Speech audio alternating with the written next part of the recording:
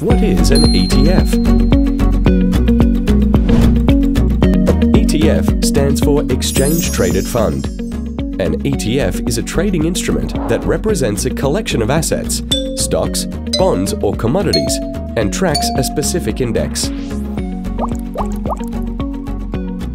For example, the major US stock market index, Standard & Poor's 500, is tracked by the SPDR S&P 500 ETF Trust and some other ETFs.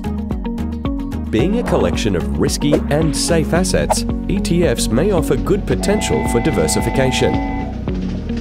ETFs are available for trading on exchanges like stocks. On the IQ Option platform, you can trade ETFs via contracts for difference, CFDs, CFD trading implies making a prediction about the price change of an asset without actually owning it. To trade an ETF, click on the plus sign in the upper panel to add a new asset group. Select ETFs and choose a specific ETF to trade.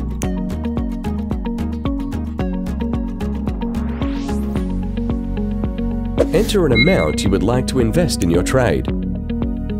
Check the applied multiplier value. A multiplier is a tool that allows you to trade with a larger amount than you actually own. Please note that a multiplier may not only enhance a positive outcome, but also amplify losses.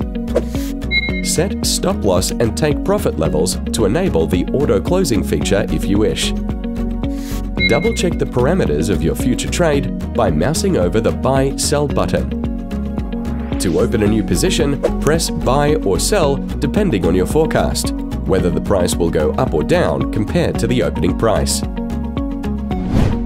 Please note that in case you transfer your position to the next trading day, an overnight funding charge will be applied. Have a pleasant trading experience.